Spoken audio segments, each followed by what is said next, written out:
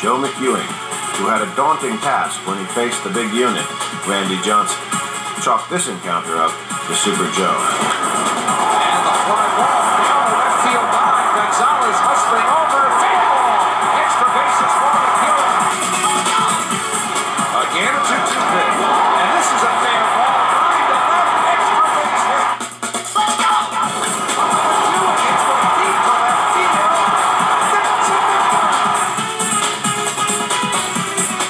Joe was one of the team's many unsung